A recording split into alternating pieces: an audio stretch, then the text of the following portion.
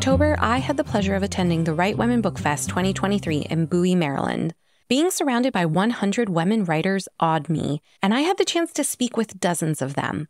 Today, you're going to hear from seven incredible women authors. We'll explore what ignited their writing, the lengths of their literary careers, and whether they always envisioned themselves as authors.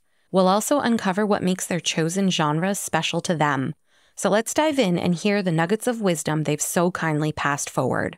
When I stopped by Cheryl Woodruff Brooks' table, I learned that she writes children's literature, primarily nonfiction. However, she recently released a fiction book, When I Look into the Sea, which is for early readers up to age seven. Here's what she said when I asked her what inspired her to write this book. It rhymes because I love rhyming books. I'm a songwriter, so it just kind of goes hand in hand. When I look into the sea is basically affirmations to children to believe in themselves, to believe in their dreams. So when they look into the sea, they see a reflection of themselves. And they don't really have to look outside of themselves to believe in themselves. So that's the overall point. I love that. Um, and also, by the way, I got to say, your illustrations are adorable on the cover of the book. Thank you. Uh, who did you? Where did you find your illustrator? So, my illustrator, believe it or not, and mm. I encourage all of you aspiring authors to make use of Fiverr. I actually found an illustrator, and she lives in Pakistan. Okay. And that's where you found your illustrator. Yep. Do you have any advice about what makes a good working relationship between you and your illustrator? Well, of course, you're not going to sit down and talk to them face to face. So I think written communication is the most effective tool you have. Be sure to clearly explain to an artist, illustrator, or anyone you contract what it is your expectations are for their work. So be sure you know what you want and communicate it effectively. Okay, so you mean like here's an example of the types of illustrations I'm looking for Right. and what I'm hoping this particular page will have on it or show? Right. I, I've told her what the book was about, Mm-hmm. why I wrote it, so they could understand my love of mermaids, my love of children. Mm-hmm. And yeah, I, in my case, I said I want diversity in Mm. characters, all complexions, all hair types, like any kid. Yeah. Yep. I love that. Uh, what is your favorite thing about writing in your genre? I tell untold stories, and that's why I like nonfiction. Um, I, I have focused in on beaches, and in particular, segregated beaches. Oh, And so I love, it's like I'm on a treasure hunt. It's like I'm an archaeologist. So I feel like I wear a lot of hats that, that give me joy by being someone who digs up research on things of the past. Mm, that's very cool. What book are you specifically referring to for that one? Well, the, pretty much the rest. uh, This was what got me a book deal right here, the Chicken Bone Beach. Hmm. Um, Chicken Bone Beach is the first book I wrote about a segregated beach. wow. And then I turned it into a children's rhyming book. Oh, So wow. I wanted to expand the reach of the audience. yeah. Uh, I uh, did the same thing here. I did Golden Beauty Boss, which is a biography of possibly the third Black woman in America to establish millionaire status. wow. And I converted it to a, a young adult age, junior Okay. high school, middle middle school. Wow. Yeah, So you work with a variety of ages for your children's books. I do. Yeah. Yes. Wow. And you wear a mermaid dress when you're reading your book to the kids. A mermaid tale. A mermaid tail. You are correct. I loved your mermaid tail. And I have a picture of that. That'll be going up. Um, so that's wonderful. And I heard you uh, when you were reading a little bit from Chicken Bone Beach. Was that the one with the rhyming in it? well, No? every well, they all rhyme Oh, in all different rhyme. kind of ways. Okay. So Chicken Bone Beach, I wrote in a way to encourage the children to join in. Nice. So redundantly, you hear Chicken Bone Beach, Chicken Bone, Chicken Bone, Chicken Bone Beach. Well, like after page five, I've got them in there, right? Yep. Exactly. The, talkers, the, the sweet little ones have been holding it all in. That Uh huh. I give them their cue, they're ready. Oh, I love it. I love it. I love getting children involved in books early on. I've been reading to my kids since the moment they were in my arms. Yeah. Um, honestly, I read my first book to my first child in the NICU. Yeah. So I Oh. cry over that one.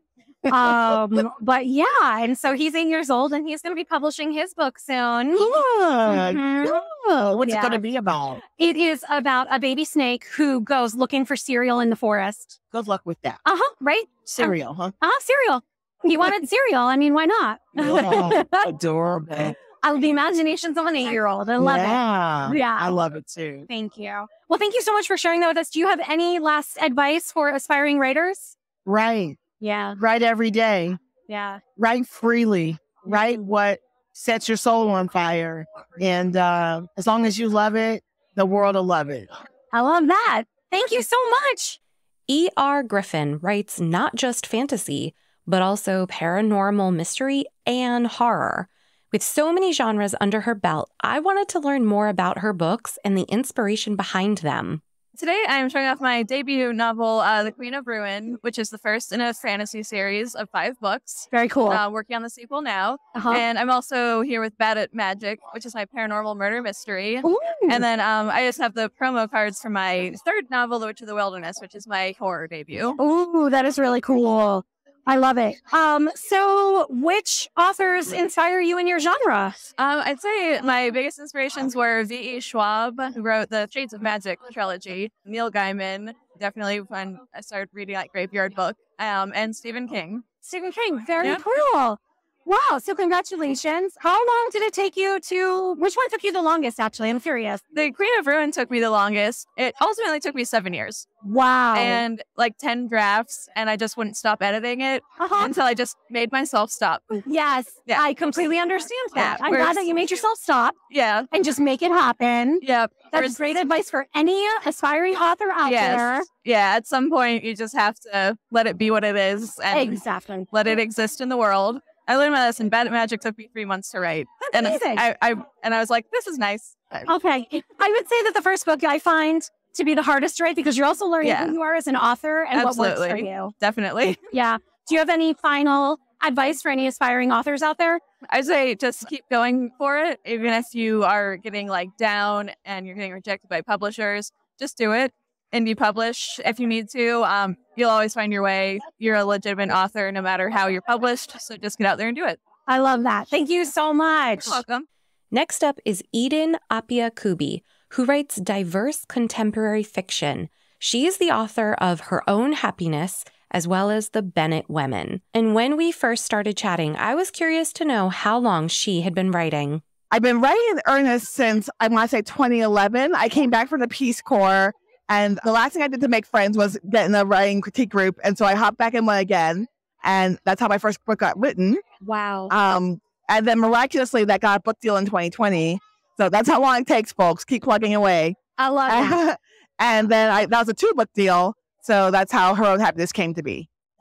So, what did you find to be one of the most challenging things about the writing process, and how did you overcome that? Well, I think that for people who are pursuing traditional publishing, it's great I, in terms of you don't have to figure out your production. You, I had a, a ton of support from my publisher, Montlake. I have the best editor in the world, um, Alison Dashiell. I'm going to shout her out every time I can. But I was writing to see how far I could get. I wasn't prepared for a deal necessarily. I did not have a second book written.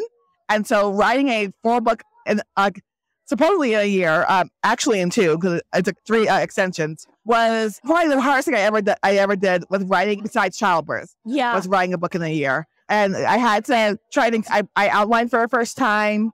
I try not to be overly consumed with the idea that, of writing. I only listen to audiobooks because I didn't want to get uh, literature slipping into um, plagiarism. I love audiobooks, but somehow they don't seep in as deep. yeah. So that was my struggle. Was not recommended, but you don't get to choose when you get your moment. So I had to just go for it. Yeah.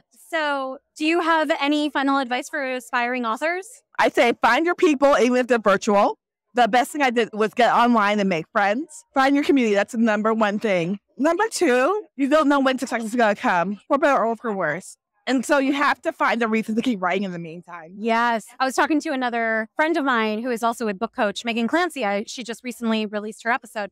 And she was saying how important it is to know or to set your intention behind your book, not just your intention of why you're writing, but why you're writing this specific story, so that you can always come back and be like, this is the reason why I have to tell this story. Exactly. My first book I wrote because I didn't see any diverse black heroines at the time. This, was, this was uh, 2007 when I started. I didn't see any dark skinned black women as romantic heroines.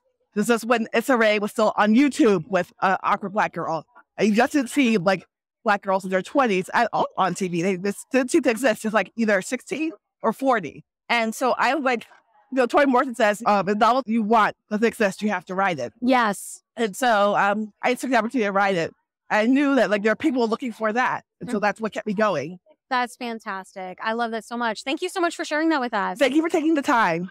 One of the first authors I spoke with was Heather M., who writes erotica. She published her first book, Madame X, Book 1.1, and we had such a fascinating conversation about what she loves most about her genre. I'm very interested in telling real stories, authentic stories about women and sex and, and sort of their experience with intimacy and, and sort of their sexuality. So I think there are a lot of boundaries that you can push in erotica, and that makes it really fun and an exciting sort of genre to write in. That is awesome. I love that so much. You know, back in the day with uh, the Victoria era and don't show an ankle, Exactly. right? And so I love the idea of women being able to enjoy who they are. Absolutely. Absolutely. That's so important. So, and the name of your book that you have? It is Madame X Book 1.1. And so the title was inspired by a painting, actually, that was done in sort of the 1800s by uh, William Singer Sargent. And it was entitled Madame X. She was a socialite in France, she was an American expatriate. Um, and so she was living there and she created a scandal by posing for this painting because the strap of her dress sort of fell down over her shoulder and it was considered very inappropriate. So I, I kind of love talking about those sort of, you know, little anecdotes and, and things that women have sort of gone through through the ages Uh huh. and sort of how can we sort of break through those barriers and That is fantastic. Yeah. Well, any last minute advice for any aspiring writers out there? just keep writing. Even if, you know, this is my first book and I'm still figuring out what I want to do next with Mhm. it. But, you know, as long as you keep writing, if that's what you love, it will just, it'll pay off for you either in sort of personally or professionally. So either way, just, you, you just keep writing and you keep writing stories and things that you love. That's fantastic. Um, I can tell you the number of times I say the word fantastic on my podcast, but I can't help it. It is fantastic. And I love talking to writers. I love being able to talk to women writers, Yes. especially somebody who represents us this way. Yeah. So thank you so much. Um, Thank real you. quick, how long did it take you to write this book? I, it's a thick book. Oh, oh, no, wait, actually I'm, it's this not. is the book. This is the I'm book. looking at your stack of your stash. I have my stash of cards. Yes, because I have book. just five books left. My other order did not come in in time, which is, you know, author problems, right? Uh-huh. yes. How long it takes to get an author copy? So, um, but it took me about a little less than a year, Very you know, between editing and all that kind of thing. That's And, awesome. Yeah. Did you find an editor you jive with? Um, yeah, my partner actually. That's great. I'm glad that that could work that so way. we work pretty well together. But yeah, I think the biggest challenge was the cover. So oh, yeah. the cover was something that took the longest, honestly. Like it just struggling what I wanted it to look like. So That yeah, Yeah. that is a very overwhelming process. yeah, because judging a book by its cover is, Uh-huh. is that thing. it really is. It really is. is. All right. Well, thank you so much. Okay, well, thank you. During the festival, I had the honor of speaking with New York Times and USA Today best-selling author Jeaniene Frost, who writes paranormal romance and also romantasy. As she said, it's basically vampire and romance.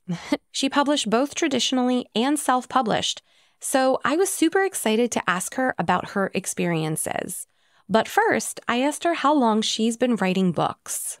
I have been published since 2007. wow. How many books have you published? Oh, um, I think I might be, including novellas, I think up to 30. that is mind blowing. and I bow down to you.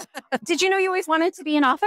Uh, yes, since I first read my first romance novel way too young at age 12, I fell in love with the genre and I wanted to be a writer ever since. What do you remember what that book was? Oh, yes, I remember. It's Skye O'Malley by Bertrice Small, and I am dating myself with the reference because it's an oldie. So you just spoke to my heart because I also stumbled upon my aunt's romance collection. read them Yes. way too young. And my very first romance book that I ever read was Promise of the Rose by Brenda Joyce. Ah, I'm also dating myself with that one as well. yes. Um, but yes, the the genre just stuck with me, and I also always wanted to be an author. So you have made your dream come true 30 times over. Congrats. Can you talk to me about indie publishing versus trad publishing? Well, I mean, when I started out again, when dinosaurs roamed the earth in 2007, there really wasn't indie publishing. I mean, it, no, it was very, very niche, kind of a very small side market. Uh, obviously, with the invention of Kindle Unlimited and with Amazon, it exploded. Mhm. But I decided to indie publish my uh, most recent novella, Grave Girls Getaway, because I didn't want to make, uh, I didn't want to write a full book. The story was really only a novella, and bookstores generally want full length novels instead of novellas. So I knew that I would have to self publish that one to be able to get it out. So I chose to go indie with that one, and it was really a fun experience. It originally was in an anthology with two other trad authors, and we all did our anthology indie. And then we each split our stories out of it and self published them, you know, as individual stories. So that was my first dip into the indie publishing, really. And then for my novel, The Other Half of the Grave, it was a retelling of my very first debut novel, but this time from the hero's point of view, because the book was originally written entirely from the heroine's point of view. And it started out as a free blog serial on my website. And I thought only a few readers will be interested because it was such an older book that I was retelling, and the response was overwhelming. And I had so much fun writing it, I decided to write the entire story, which I did. And then I actually tried shopping at Trad, but um, the publishers were not interested in it because it was a retelling of an older book. And I understood that. I knew that was a risk going into it, but I really felt like there was been such reader response to it that I thought there would be enough readers interested in it. I went indie with it, and it actually ended up hitting the USA Today and the Wall Street Journal bestseller list. Look at that. so I was really, really thrilled and shocked by the reader response. wow, congratulations. What a milestone to reach. Yes, that was that was a, a big happy surprise. yeah. You know what I'm also just thoroughly impressed with and admire you for is that trad publishers were telling you no and you didn't take no for an answer and you made it happen all on your own. and again, I don't. This is not to knock trad because Right. yeah, because I mean, I think that I think what trad does a lot is they will check with bookstores and the big vendors and say, you know, would you buy in for this book? And if they say no, then trad says no, and that makes total sense. Right. Um, and you know, and again, it was a retelling of a book from 2007 Mhm. that I published last year. So that's a long time. And in publishing years, that's a thousand years. Um, so it was a gamble. Yeah. I understood why they passed, but I looked at my website stats when I was publishing it as a free serial, Yeah. and my stats were higher than they had ever been. Mhm. And it and I thought that, you know, that meant that there were enough readers who wanted it. And I loved writing it. Yeah. And so I was, you know, I wanted to give it to them. The only avenue I had was indie. And obviously, I think it worked out really well. Um, it most definitely did. That's amazing that you saw through. So congratulations. Do you have any last advice for aspiring authors out there? Write what you love. I mean, I think that's really important because at the end of the day, we don't know who is going to want our books as as illustrated. Right? Um, so you know, you have to make sure to write the story that you want to tell and that you love, and then however you decide to go, indie is an avenue now, and it's a very viable avenue, and that's exciting because again, that wasn't the way when publishing was even back, yeah, in 2007 or 10 or whatever. yeah. Um, but you know, I still love I I still love trad as well. I mean, I love seeing my books in bookstores. I'll be really honest because bookstores are like they're like mini vacations to me. I love going into them. I love browsing through them. So, you know, you write what you love and you figure out which avenue for publication works best for you and then keep at it. And make it happen. Yeah. One way or another. I love it. Thank you so much for taking the time to share that with us. Thank you. One of the best parts of attending this festival was getting to finally meet in person friends I'd met and worked with online. And one of those friends is K.L. Richardson, author of The Sons of Skyland, which is historical fiction. I met Kim about a year ago, and I had the honor of being her inline editor, so her book, needless to say, is near and dear to my heart. When I interviewed Kim, my first question was if she always wanted to be an author. Uh, yes, I've been writing since I was probably in middle school. In fact, I was here at the conference thinking I wanted to thank all of my English teachers for letting me sit in the back of the class, pay no attention to what they were teaching, and write stories, which is what I I did. And I've been doing that now for oh, 40 years almost. Wow. Yeah. That is amazing. So it's definitely been there all along. It has been there all along. And you have published your debut novel, Yes, Which- super exciting. which is amazing. I have to say that, not from any biased perspective whatsoever. Why don't you tell us a little bit about what it's about? It's called The Sons of Skyland, and it's basically the story of the Civilian Conservation Corps and how they were employed by the government to create the national park system and the state park system across the nation. Its focus is particularly on Shenandoah National Park and Camp uh, NP1, which is Camp Skyland. The main character's name is Seamus O'Brien. And he kind of represents all the boys, goes out on several different adventures that all deal with the ways that the park were created. Yes, both the controversial ways and the Correct. yeah, it Yeah. it's a very interesting book. It is historical fiction, Right. and it has a bit of a love story in there too. A tiny one. Have to work that in. Yes, I love that. I love that. Wonderful. So now that you're a debut author, looking back on it, Mm-hmm. what was one of the most challenging aspects of writing and publishing your book, and how did you overcome that? Uh, the hardest part, I've had this story in my mind probably since I was in maybe high school. And I originally thought that I wanted to ro- write it as a straight up romance, but that just didn't do justice to with the work that the boys had done. So I kind of switched over to historical in my mind anyway.